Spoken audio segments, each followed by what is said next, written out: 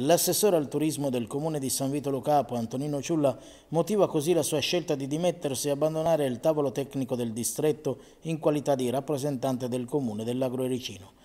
E non solo, c'è molto di più dietro la decisione ponderata e sofferta dell'amministrazione sanvitese. I concetti di rete di azione partecipata, spiega Ciulla, trovano ancora, nostro malgrado, declinazioni molto diverse tra le diverse realtà coinvolte. E poi Addirittura parla del distretto come di un ostacolo alla corretta realizzazione delle iniziative programmate. Ma ascoltiamo le sue parole nell'intervista che segue. Abbiamo lavorato per due anni cercando di portare a compimento quello che era un progetto di destinazione che tutti conoscete e che è stato avviato con la sottoscrizione del 6 giugno 2019 da parte di una decina di sindaci del nostro territorio.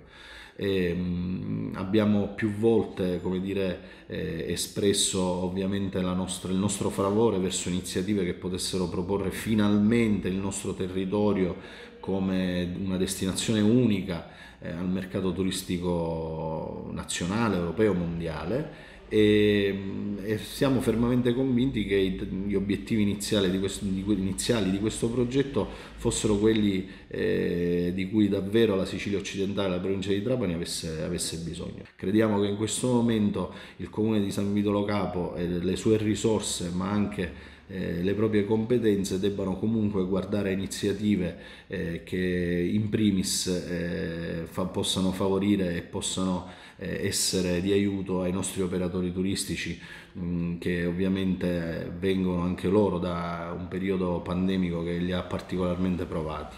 quindi eh, una nuova razionalizzazione delle nostre risorse sia umane che economiche che ci, ci consenta pur rimanendo all'interno della fondazione di guardare, di guardare iniziative di marketing territoriale, di programmazione che siano sicuramente eh, più consone alle esigenze di questo territorio.